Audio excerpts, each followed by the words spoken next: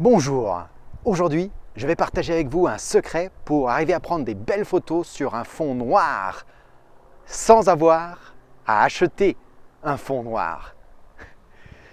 Je suis Blaise Fiedler, photographe, et vous avez été nombreux à suivre les cours sur le studio de rue et à me demander quel tissu je recommande pour euh, faire un fond de studio très noir.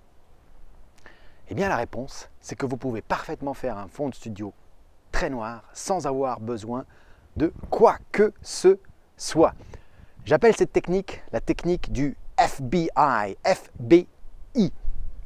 Alors pourquoi?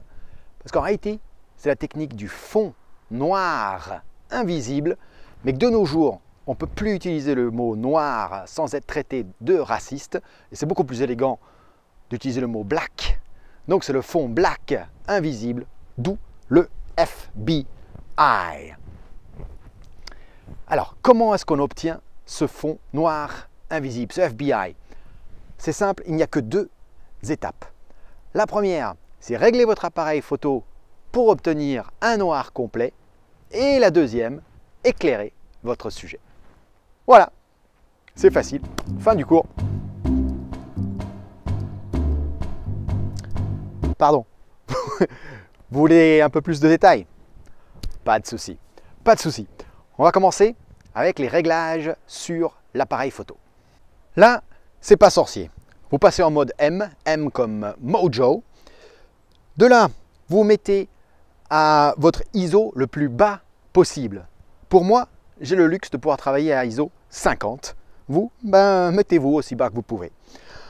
Au niveau de la vitesse de déclenchement, vous mettez à la vitesse la plus rapide possible qui soit acceptable par rapport à votre vitesse de synchronisation de flash. Et si vous ne savez pas ce que c'est que la vitesse de synchronisation, c'est que vous n'avez pas été sur Photoloco récemment parce qu'il y a un cours sur la vitesse de synchronisation. Donc pour cet appareil, il n'est pas super rapide. Je suis à un 2 centième de seconde. Il y a de très fortes chances que sur le vôtre, vous ayez le privilège de pouvoir travailler à un 250e de seconde. Mais vérifiez sur ma page sur les vitesses de synchronisation ou dans le mode d'emploi qui est probablement encore immaculé chez vous de votre appareil photo. ISO, vitesse. Vous avez maintenant le troisième élément, le diaphragme. Pour le diaphragme, eh bien, écoutez, vous commencez quelque part. Par exemple, on commence à F8. Voilà, je vais prendre une photo.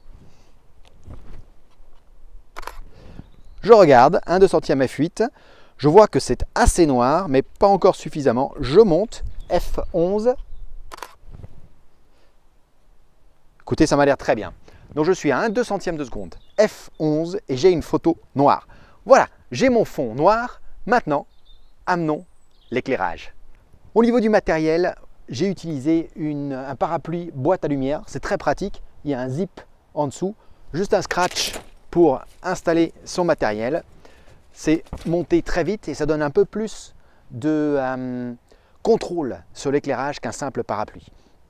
Dedans, j'ai mis le Yongnuo 568EX et euh, pour contrôler à distance, j'utilise le euh, YN 622 qui me permet directement de l'appareil photo de contrôler les niveaux. Il se trouve que le flash, il est maintenant à pleine puissance là-dedans. Donc on va faire notre premier phototest.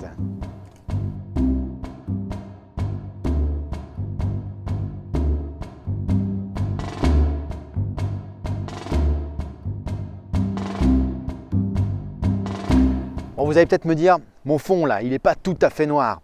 Eh oui, eh bien vu. C'est parce que j'ai atteint le taquet ici avec ma puissance lumineuse. J'aurais pu, sur mon appareil photo, passer à F13, F16, qui aurait diminué d'autant plus l'arrière-plan. Par contre, F16, eh ben, ça va lui demander beaucoup plus de, euh, de travail à mon flash, de puissance en plus, que je n'ai pas, puisque mon flash, je suis à pleine puissance. Donc ce que je peux faire, si je voulais vraiment prendre une photo fond black, invisible, euh, avec un vrai fond noir, eh bien,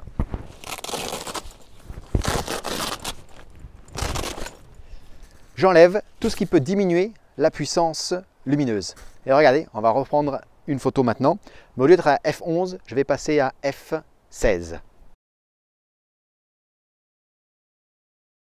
Voilà, et maintenant on va comparer avec une photo sans le fond noir invisible, FBI. Donc effectivement, on arrive à donner beaucoup plus de caractère avec ce genre d'éclairage. Alors je vais vous mettre en garde sur deux choses. La première, c'est si vous travaillez en intérieur, attention au rebond que votre source de lumière va, euh, créer.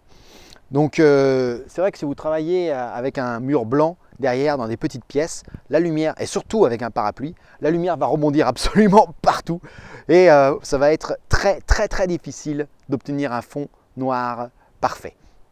Donc là, il vaut mieux travailler dans ces cas-là avec une petite source de lumière sur laquelle vous allez mettre quelque chose comme un, nid d'abeille ou alors un snoot pour euh, effectivement avoir une, lumière beaucoup plus concentrée, dirigée, qui ne vient pas polluer votre euh, l'arrière de votre scène. Si vous travaillez en extérieur, attention à la luminosité ambiante. Tout le secret du FBI, c'est de diminuer la lumière ambiante jusqu'à ce qu'elle soit complètement noire. Donc c'est pour ça qu'ici je me suis mis dans un coin ombragé et pas au soleil, parce que euh, si vous pouvez tout à fait faire ça au soleil, mais il vous faut du coup une puissance lumineuse beaucoup, beaucoup plus importante. Je vous ai d'ailleurs fait un petit cours là-dessus sur comment photographier en plein soleil. Donc si vous voulez juste travailler comme moi avec un petit, euh, un petit flash, vous voyez, juste un petit, euh, un petit flash là, eh bien, eh bien, il vaut mieux travailler avec une intensité lumineuse ambiante assez faible. Voilà, à part ça, c'est quand même une euh, très belle technique qui vous permet de faire un fond noir et de changer complètement l'ambiance d'une scène.